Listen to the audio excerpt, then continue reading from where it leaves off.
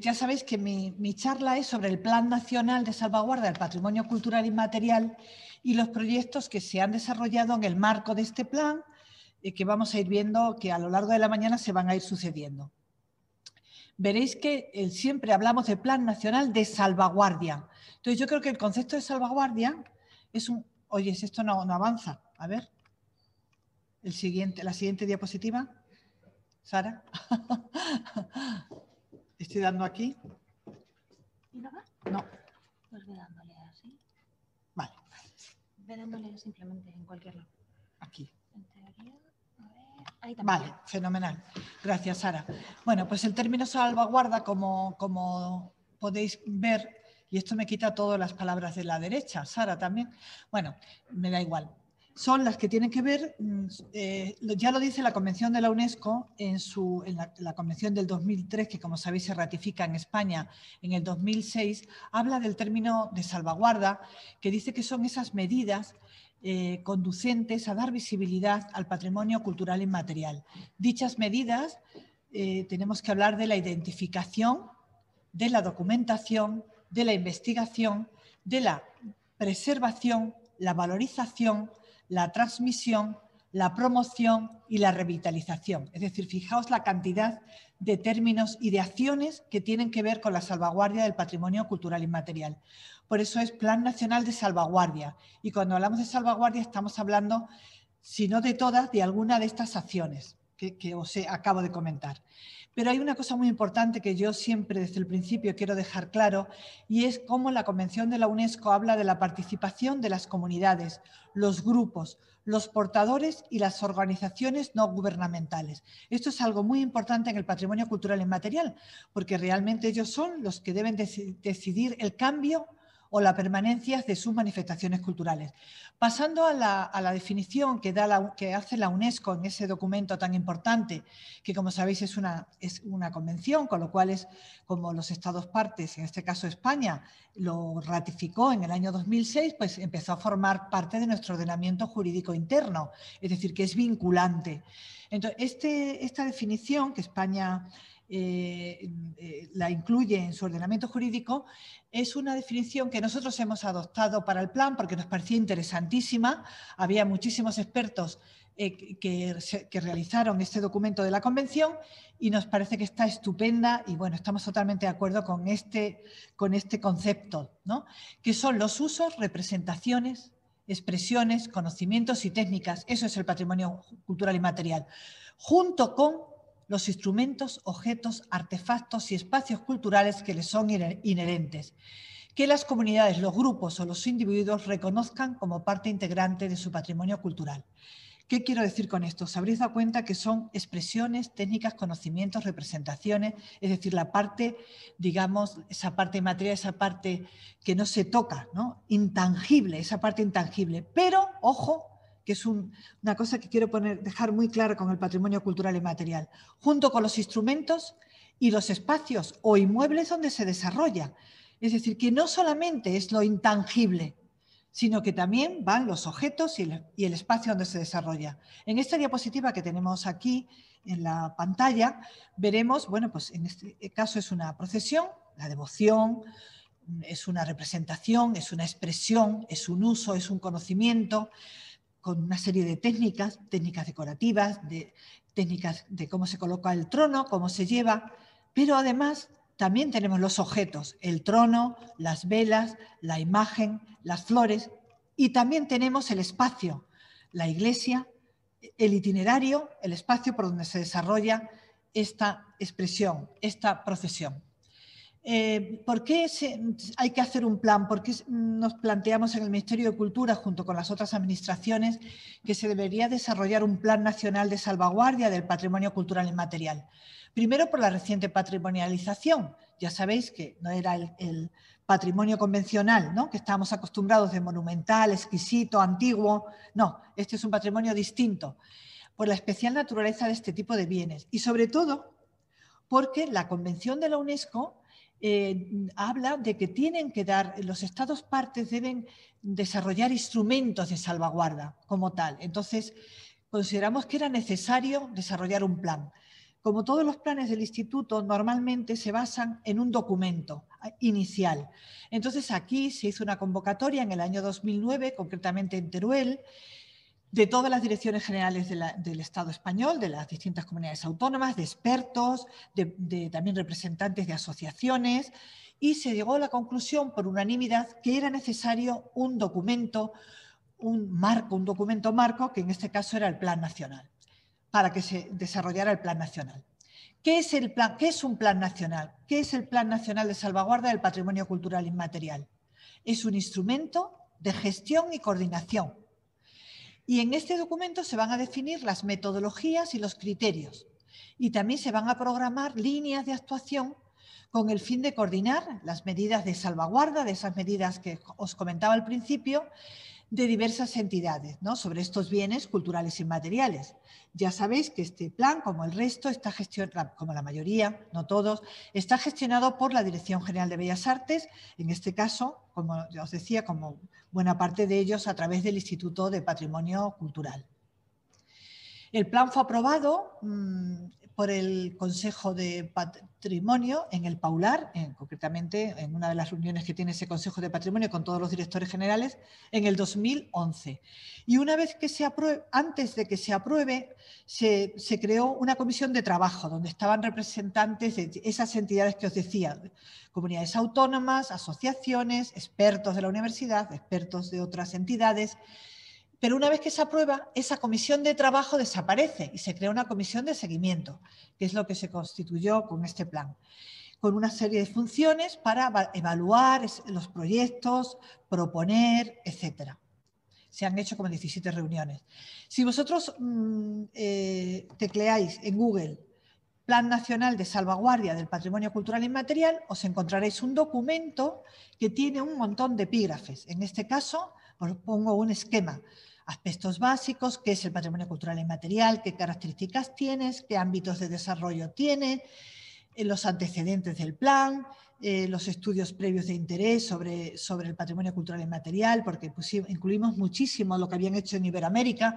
Sabéis que en Latinoamérica es importantísimo el patrimonio cultural inmaterial, incluso en algunos países está incluido en, en las constituciones de los propios países, ¿no? porque forma parte de esa identidad. ha sido una gente, unas personas luchadoras de su propia identidad. El patrimonio cultural inmaterial a veces ha sido un instrumento de reivindicación importantísimo para estas comunidades iberoamericanas. Entonces, lógicamente, a nosotros nos sirvió muchísimo para el plan también basarnos en estos documentos de Latinoamérica. Eh, ¿Qué características tiene? Pues muy deprisa las vemos porque no podemos. Pues está interiorizado en los individuos y en las comunidades como parte de su identidad. Eso es una cosa importantísima. Por lo cual remite a la biografía del individuo, pero también de la, de la propia comunidad, a la biografía individual y colectiva va a formar parte de la memoria colectiva viva, está experimentado como vivencia. Ninguno de nosotros, si nos metemos en una manifestación del tipo que sea, lo vamos a vivir de la manera que lo vive esa comunidad portadora, esa comunidad identitaria, porque nos falta esa vivencia. Nos, nos, faltan muchos de los elementos que tienen ellos. Está experimentado o rememorado en tiempo presente. Esto es un elemento importantísimo, característico del patrimonio cultural inmaterial, que no es del pasado, puede venir desde el paleolítico, el ritual puede venir, pero se experimenta, se desarrolla hoy, está vivo, vincula el pasado y el futuro, pero a través del presente. Está transmitido y recreado, es decir, que no, normalmente está demostrado que aquellas manifestaciones culturales y materiales que no se adaptan a la sociedad actual terminan perdiéndose. Luego, transmitido y recreado, se ha ido recreando, adaptándose. Es vivo, y como vivo que es, es dinámico. Está preservado tradicionalmente por la comunidad. Por mucho que las administraciones hayan querido eh, preservarlo, es la comunidad la que ha sido capaz de que, se, mantenga.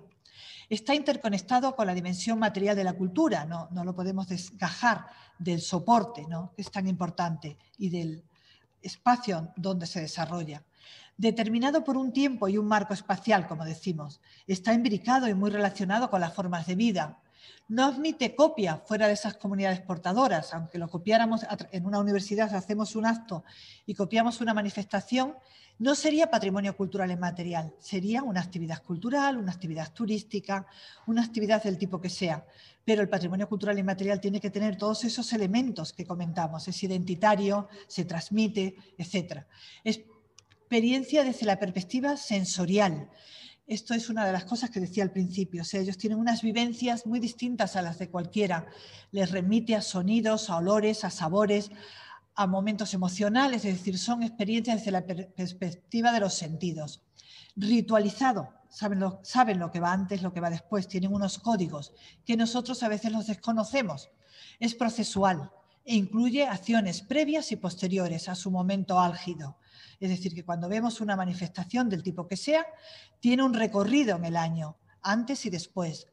Tiene un efecto regenerador en el orden social, es evocador como os decía, recuerdos del pasado, recuerdos de personas que han desaparecido y que tuvieron un papel importante en ese seno familiar o en la propia manifestación. Contribuye a la sostenibilidad del medio ambiente y es muy vulnerable. En cuanto a las, las medidas, tenemos que decir que son medidas, eh, eh, actividades productivas, son todos los ámbitos que se incluyen, creencias, tradición oral, representaciones, manifestaciones musicales y sonoras, formas de alimentación y formas de sociabilidad colectiva. Esto se desglosa en el plan muchísimo, pero aquí solamente os he, eh, indicado, os he relacionado los bloques. Esta es la otra parte del, documento, es decir, hemos, hemos, visto una primera parte, esta segunda serían los objetivos del plan, los criterios de actuación, la coordinación, los programas que se deben desarrollar y la evolución, y ejecución y seguimiento del plan. Como veréis, todas las imágenes, la mayoría son de manifestaciones culturales y materiales donde la mujer tiene un protagonismo. Estos objetivos del plan, lo decíamos al principio, establecer las bases teóricas, los proyectos, sensibilizar a la sociedad y lograr el reconocimiento en el marco de las políticas culturales. Y otra cosa muy importante, facilitar la información, la coordinación la coordinación y la, eh, colaboración entre administraciones y asociaciones, que esto es muy importante. La coordinación entre las administraciones y las asociaciones. Bien, en cuanto a los criterios de valoración, nosotros en el plan hemos establecido el protagonismo ineludible de la comunidad portadoras, es que es la primera que debe estar en todas las acciones que se desarrollen. Es muy importante esa comunidad portadora. El peligro inminente de desaparición también es un valor importante a tener en cuenta. La especificidad y representatividad frente a la singularidad. Así como en otros bienes sabéis que es muy importante que sea muy singular, es que este es el edificio que es singular, es el único. No, en las manifestaciones culturales y materiales es la representatividad lo más importante, la continuidad, la vivencia, la forma de transmisión, la implicación de los participantes, la diversidad de expresiones, los marcos espaciales propios, ¿no? que se hagan en un, en un, en un polideportivo, ¿no? que de pronto los lleven allí las instituciones, la integridad temporal y ritmo interno, la diversidad la relevancia de los objetos el respeto a la integridad humana y animal y a los principios de igualdad y no discriminación. Esto es algo importantísimo que valoramos muchísimo desde el Ministerio cuando tenemos que evaluar una manifestación cultural para declararla, para difundirla, para invertir dinero en ella, etcétera. Eh, lógicamente, esto está en conexión con la Ley 10-2015 de salvaguardia del patrimonio cultural inmaterial, que en su artículo 3 se dan una serie de principios generales de las actuaciones de salvaguarda, como son principios de igualdad y no discriminación, porque claro, el carácter tradicional de las manifestaciones inmateriales de la cultura a veces se nos ha comentado mucho, bueno, es que eso era, es que así es tradicional, es que lo hacían los hombres siempre, es que esto es la tradición. Bueno, pues en general creemos que en ningún caso se amparará el desarrollo de determinadas acciones que constituyen la vulneración del principio de igualdad de género, diciendo que es que eso siempre lo hacían, siempre lo hacían los hombres, ¿entendéis? El protagonismo de las comunidades portadoras del patrimonio cultural inmaterial, como titulares, mantenedoras y legítimas usuarias. El principio de participación, y el principio de accesibilidad, que consideramos que es muy importante, pero, ojo, sin perjuicio de los usos consuetudinarios por los que se rige el acceso a determinados aspectos de estas manifestaciones. Hay que tener muchísimo cuidado porque a veces el acceso indebido puede alterar la esencia de esa manifestación. Por eso nosotros consideramos que eso es un respeto enorme que hay que tener a los portadores y a la propia manifestación cultural inmaterial el dinamismo inherente al patrimonio cultural, la sostenibilidad, es decir, todos estos principios importantes que yo creo que hoy día estamos de acuerdo en su, inmensa mayoría. Nosotros en estas convocatorias de ayuda en concurrencia competitiva hemos tenido en consideración también cuando esos equipos que se nos proponían, equipo de trabajo, nos quedamos alucinados porque en algunos sitios eran todo hombres, pero bueno, es que no va a haber mujeres en ese equipo de trabajo eh, podemos eh, pensar que en algún caso, pero bueno, en general, y también lo hemos tenido en consideración en las siguientes normas de la convocatoria queremos también indicarlo, porque consideramos que es muy importante manifestarlo. En cuanto a la identificación de riesgos, pues las normas globalizadoras, ya sabéis todo lo que tiene que ver higiene y seguridad en el trabajo, ha hecho que se pues que muchas manifestaciones culturales y materiales desaparezcan, la pérdida de especificidad motivada precisamente por estos procesos de globalización, la fosilización no, han hecho que cambie, se ha quedado, no se adapta y ha desaparecido, la apropiación indebida de ese patrimonio cultural y material por parte de sectores que carecen de legitimidad, a veces determinados partidos políticos, etcétera, han dicho esta manifestación cultural, este ritual es nuestro, este, em, somos nosotros los que lo hemos, ¿entendéis? Cosas de este tipo que, que nos consideramos que es un riesgo, los riesgos generados por grupos o agentes locales con intereses diferentes o contrapuestos a la comunidad, a veces agentes turísticos que tienen unos intereses distintos a la propia comunidad y eso es un riesgo para la manifestación, la masificación y el espectáculo, tratarlo de museificar, de, hacer museo de eso mismo, cuando eso no es el patrimonio cultural inmaterial, es una técnica de salvaguardia, por supuesto, pero en sí no, eh, hacerlo mm, museificado no es en sí patrimonio cultural inmaterial. La violación de los derechos de propiedad, es muy importante, a veces se violan a los artesanos. La sobremercantilización es otro riesgo. La singularidad os lo decía, frente a la representatividad que debe ser el patrimonio cultural inmaterial. Las dificultades en la perpetuación y la transmisión. Para nosotros, importantísimo la transmisión. Ya os lo decía, el papel tan importante que ha jugado y que sigue jugando a la mujer en todos los procesos de transmisión y de formación. Y los usos ofensivos o despectivos, ¿no? que para nosotros también es un riesgo, como el de la discriminación. En cuanto a los programas, vamos a valorar algunos de ellos que se han hecho en el marco del plan. Dentro del marco del programa de identificación documentación, vamos, comentamos, a modo de ejemplo, el de el ASLA del cultivo tradicional del viñedo y de sus paisajes culturales, que es un, es un programa que hicimos de toda España, un plan en el marco del Plan Nacional, donde tuvimos muy en cuenta el estudio de género de esas técnicas, en este caso la vendimia, ¿no? las, las eh, técnicas que la mujer ¿no? tenía que ver muchísimo de una manera muy directa. Hicimos, digamos, desde esa perspectiva de género se hizo este análisis, este ASLA del, cultivo tradicional del viñedo y sus paisajes culturales. Lo mismo con los trabajos de investigación y documentación sobre producción, sobre producción y, mm, transformación del esparto en España. Eh, para conocer los riesgos y las amenazas, pero también para establecer las estrategias de salvaguarda y para hacerlo viable.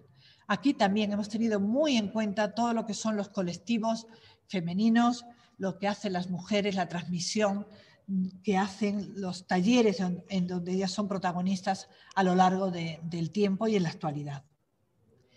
Pero también hemos desarrollado en el marco de ese plan nacional, justo en los estudios, porque dentro de, eso, de ese plan de, ese programa de documentación y de investigación hay estudios específicos de las manifestaciones culturales y materiales. Y dentro de esos estudios específicos hemos desarrollado un programa especial que es el, se llama, mm, en este caso, mm, análisis de la participación de las mujeres en el patrimonio cultural y material sobre mm, la situación actual y las perspectivas de futuro, ¿no? un poco semejante a nuestro curso. Este vamos a tener el honor de que lo, de que lo desarrolle Ángeles Querol Fernández, a lo largo de esta mañana, analizando si la incorporación de las mujeres en la esfera pública, de qué manera se ha realizado, de manera natural, si ha habido conflicto o si es un proceso específico de mediación, ¿no? que se va haciendo de manera paulatina y a través de esos instrumentos jurídicos. No voy a entrar en nada de, esto, de este plan porque lo va a desarrollar a lo largo de la mañana Ángeles Querol y creo que es suficiente. Simplemente comentaros que se ha hecho, se ha desarrollado en el marco del Plan Nacional el siguiente proyecto, eh, sabéis que tenemos también una línea de, subvenciones en, concurrencia competitiva que está mm, en la ley de 10-2015 de salvaguardia del patrimonio cultural y material, se vincula también, es una acción del Ministerio y está vinculado con el Plan Nacional también. Y aquí se ven eh, en estas ayudas en concurrencia competitiva pues tratamos de valorar, de priorizar en cuanto a la, puntuación aquellos proyectos que tenían que ver con la desigualdad de género, que, tenían, que hacían un análisis, hacían un estudio, hacían una crítica, hacían eh, una investigación sobre la desigualdad de género en las manifestaciones culturales y materiales. Entonces, en este caso, eh, se presentó un proyecto muy interesante que también vamos a tener eh, hoy, la, mañana, eh, mañana, creo que es mañana, ¿no? Sí, mañana la oportunidad de, escucharlo, que es sobre el patrimonio material y desigualdad de género, análisis y propuestas desde una perspectiva antropológica y jurídica. Este, este proyecto mm, lo va a desarrollar María Lorenzo, pero habrá otras dos personas, entre los que está Beatriz, eh, Beatriz Pérez Galán y, eh, y ahora no recuerdo, se me ha ido la sí, eh, que, que, también desarrollará parte de este, de este, de este interesantísimo, interesantísimo trabajo. Nos hubiera encantado que hubieran podido hablar mucho más tiempo porque merece la pena que estas tres ponentes que van a hablar mañana pudieran desarrollar más tiempo, pero dadas las limitaciones que hemos tenido de tiempo y la cantidad de proyectos que colgaban del Plan Nacional y del Ministerio, pues no podíamos desarrollar muchas más cosas. También en, estas, ayudas en concurrencia competitiva hemos visto el anterior proyecto que fue la convocatoria del 2018. En la convocatoria del 2019 eh, existe un proyecto que se llama Sereas, eh, que tenía que ver con la memoria de las mujeres, de los oficios del mar, para poder contar la historia en clave de género de esas mujeres invisibilizadas y poco documentadas y reconocidas, ¿no? A través de... Entonces, este proceso también vamos a tener la oportunidad de que lo desarrollen a lo largo del día de, de mañana. Y por último, dentro de estas acciones en concurrencia competitiva, este año, en el 2020, también se presentó un proyecto sobre Puerto Lumbreras, Murcia, del patrimonio inmaterial y perspectivas de género, para hacer un portal web, web para la recopilación y difusión de esa memoria femenina. ¿no? Eh, desde una perspectiva de género, eh, que era a partir de las voces de las mujeres en esta zona, entre los años 60 y 90 aproximadamente, ¿no? del ayuntamiento de, os decía, de Puerto Lumbreras, y bueno, está, estamos en proceso de la, de la, resolución definitiva, pero os lo queríamos adelantar porque también al ser en clave de género lo apoyamos muchísimo en esta última convocatoria. Y por último, en el programa de formación, transmisión y difusión, eh, hemos desarrollado algunas muchísimos proyectos, muchísimas acciones que tienen que ver también en clave de género, las, unidades didácticas donde hemos tenido un especial cuidado con este tipo de, pues, este tipo de problema, ¿no? De la incorporación de la mujer, que, fuese, estuviera presente y, y, un poco haciendo crítica incluso, ¿no? Eh, pero también ha habido algunas, como por ejemplo la exposición fotográfica de inmaterial patrimonio en memoria colectiva, que en los epígrafes sobre los protagonistas o en los epígrafes sobre la transmisión, edad y género, etcétera, hemos tenido muchísimo cuidado en analizar ese tipo de imágenes desde una perspectiva de género. Aquí en este caso, en la imagen tenéis una foto de Lauren, de la fototeca del Instituto de Patrimonio Cultural de España. Veis esa abuela eh, en este caso hilando con la rueca y con el uso, y la niña con su juguete, ¿no? Cómo esa transmisión se ha dado de una manera desde la infancia, ¿no? Una cosa que la, transmisión ha sido desde la más tierna infancia. Y también hemos analizado esos espacios de sociabilidad. Fijaros esta imagen del hornillo Ávila con todas esas mujeres al salir de misa tocadas con ese pañuelo, con los niños, ¿no? También muy ilustrativa. Comentamos, comentar ahora, comentar que esta exposición, como lo decía creo que Teresa al principio, está ahora mismo en Murcia, en el Archivo General de Murcia, en el Archivo Provincial. Es decir, que desde el año 2014 que se inauguró, fijaros la trayectoria que lleva, va de un lugar a otro de España. Y estamos encantados en que se pueda, se pueda difundir, ¿no? Como se está haciendo y que yo creo que le queda todavía tiempo porque hay demanda de ella. Y aquí veis estos espacios de sociabilidad a la salida de, la iglesia, ¿no? Con esas mujeres, todas mujeres, estos hombres, todos hombres, en una taberna, ¿no? donde no hay ni una sola mujer. Es una foto también de Otto Wunderlich, en este caso de Arenas de San Pedro, fototeca también del Instituto de Patrimonio Cultural y que forma parte de, esta es la portada de este catálogo tan estupendo que yo creo que he tenido la suerte de, ser comisaria junto con Antonio Muñoz Carrión de esta, de esta exposición y que ya os digo que hemos tenido muy en cuenta también la clave de género. Y nada, por último, simplemente daros las gracias y ver en esta imagen esas dos mujeres cómo transmiten, cosiendo, contando historias, cómo transmiten los conocimientos, este patrimonio cultural y material, ese poder tan fuerte, tan importante de la mujer, como os decía al principio, en la transmisión de conocimientos. Muchas gracias, buenos días.